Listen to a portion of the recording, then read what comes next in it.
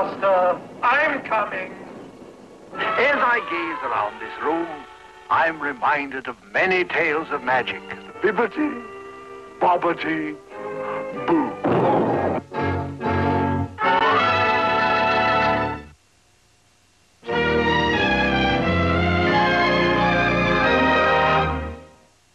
And now, your host, Walt Disney. Perhaps there's no art more fascinating than magic. For us at the studio, magic is an all-important part of our business. After all, where would fantasy be without magic? Actually, there's a little of the magician in all of us. Even I have a trick or two up my sleeve. This is a magic pencil. Watch. Of course, it's a trick. But to us, the pencil really is a magic wand, enabling us to conjure up the most enchanting fantasies. And we have a property room here in the studio that's devoted entirely to magic.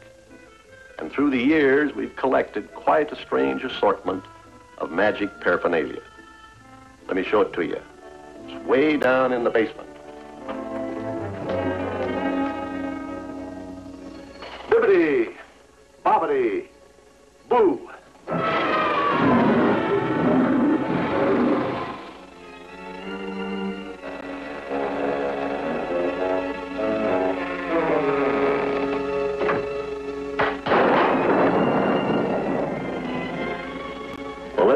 With a few simple things. Here's one that's called the flowering chafing dish. After you're through using the chafing dish, you merely put the lid on it like this, give it a magic word, bibbity bobbity boo, take it off and you have a beautiful centerpiece. Now, here's one that I kind of get a kick out of. It's called making many out of one.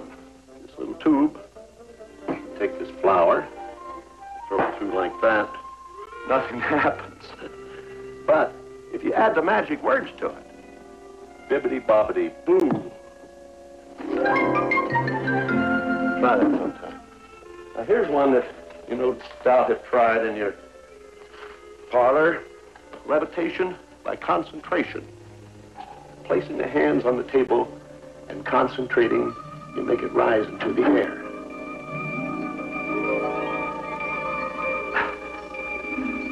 I've probably done that many times. It's no trick to you, but try it the hard way. What, a thousand pounds the center of the table like that. Then, then you have to use the magic word. Bibbity, bobbity, boo.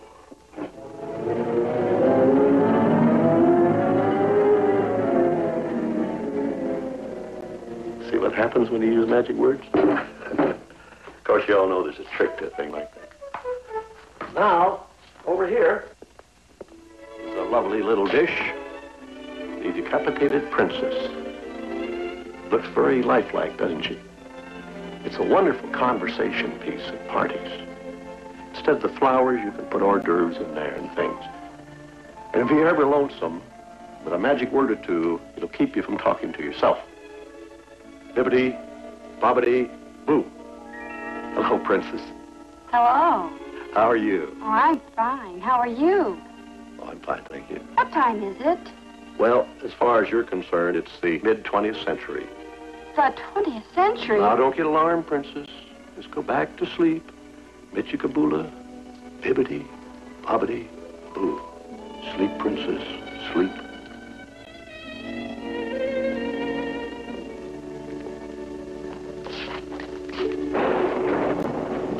Now, here's a magic prop that needs no introduction.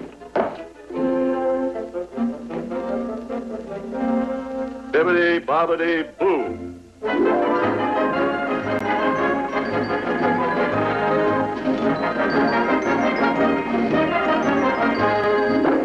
Well, look what we have here. How do you do? How are you, little fellow? Hello, little girl. Come on. Oh, we have another one here. Any more? Well, here, you go back there. Stay there. What? Behind this curtain is perhaps our most well-known magic prop. The magic mirror from Snow White.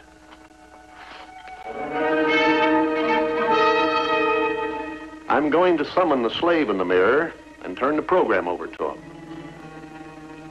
O slave in the magic mirror, cross the barriers of time and space, pierce the gloom and darkness. Let me see thy face.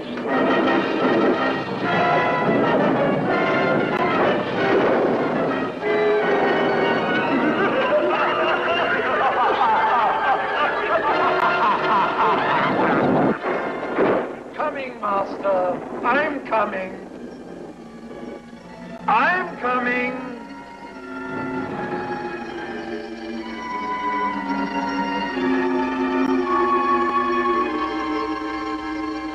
Greetings, Master. I've been expecting you. By the way, are you standing on your head or am I on mine? Well, I guess it's all in the point of view. There was something you wished to ask me. Why, yes, I was hoping that you might tell us what you can about. I know, Master. Magic. How did you know? You forget, Master, that besides being a magician, my talents include foretelling the future. For instance, you're about to tell me the show is now mine. Well, yes, that's right. Well, I guess there's no further need of me. Then allow me, Master, to expedite your departure. Bibbity, bobbity, boo.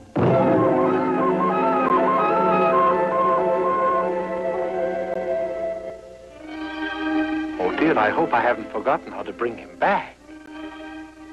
Oh dear is right, me and my sorcery. Oh, this is terrible. This.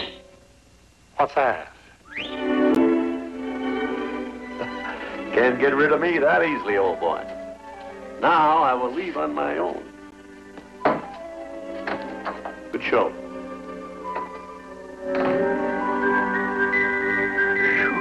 That was a close one. And now, my friends, that that's off my mind, let's gaze about and see what we find. A silken hat, a wand or two. Oh, but first, a deck of cards will do. Cards arise and fly to me with a hip and a stitch and a fiddle-dee-dee.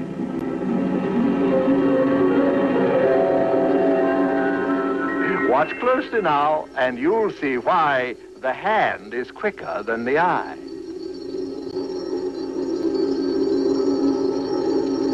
Wait, one can't perform magic without music. Maestro?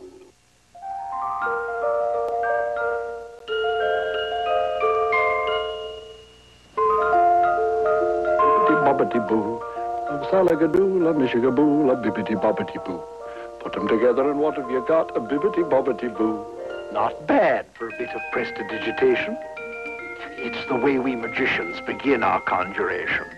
A sort of a tantalizing bit of hocus pocus to arouse your interest. Salagadoo, la mishigaboo, la bibbity bobbity boo. I can do magic, believe it or not, a bibbity bobbity boo.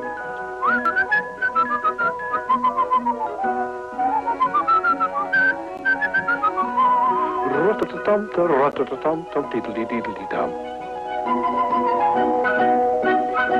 I can do magic, believe it or not, a bibbity-bobbity-boo. Rat-a-ta-tum, diddly-doo, doodle-doo-doodle-dum. A rat-a-ta-diddly-diddly-dum, bibbity-bobbity-boo. A salagadoo, a mishigaboo, a bibbity-bobbity-boo. A rat-a-ta-diddle, and what have you got? A bibbity-bobbity-boo.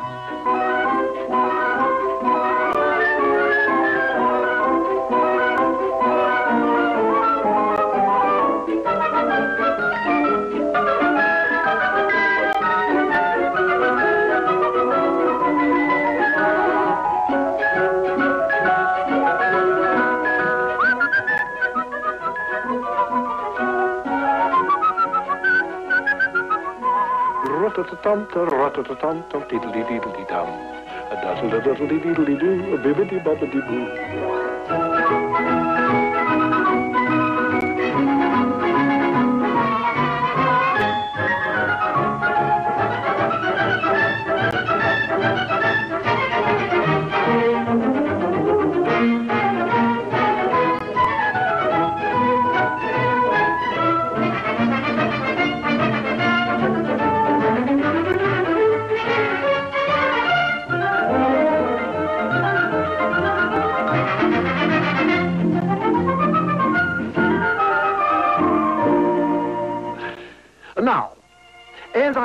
Around this room, I'm reminded of many tales of magic that I would like to tell. There's a powerful story of sorcery behind this magic hat. Then we're going to delve into the realm of witches, goblins, and spirits. And while we're on the subject of pumpkins, we're going to discover how a fairy godmother brought the magic of love to Cinderella. And of course, no magic show would be complete without a magician. And who's better prepared than Mickey? Oh, his career reads like a book. Mountain climbing one minute, fighting giants the next. So it isn't surprising that magic is included in his repertoire.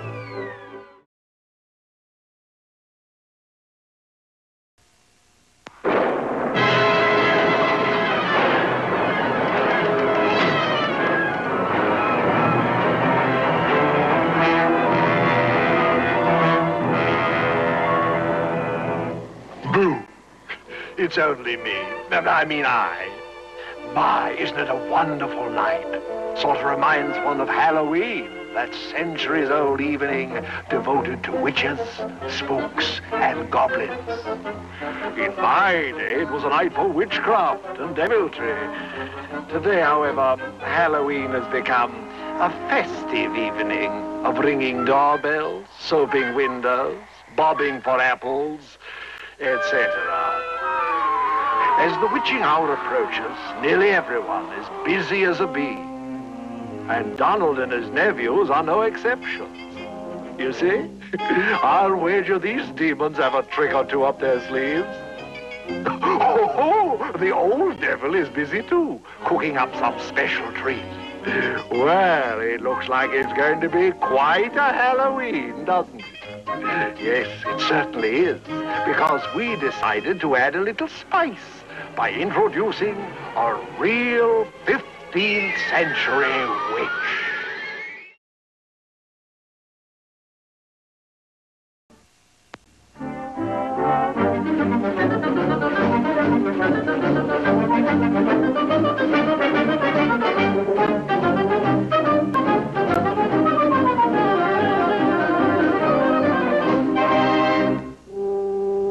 The tale I wish to tell now is a particularly beautiful one. It's a love story, a fairy tale, full of sweet romance that everyone holds dear. And though it's been told a thousand times, it always moves me. Here.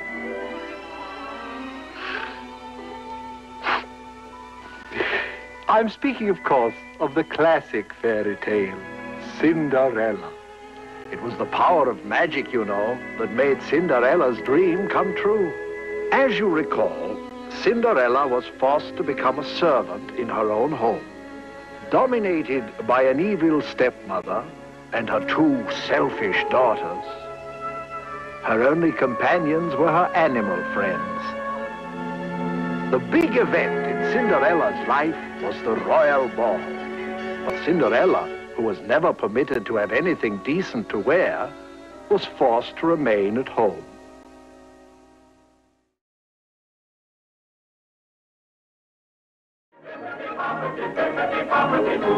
But this was only the beginning to a very, very magic evening. And so you see, it was the enchantment of magic that led Cinderella to her prince. And of course, they lived happily ever after.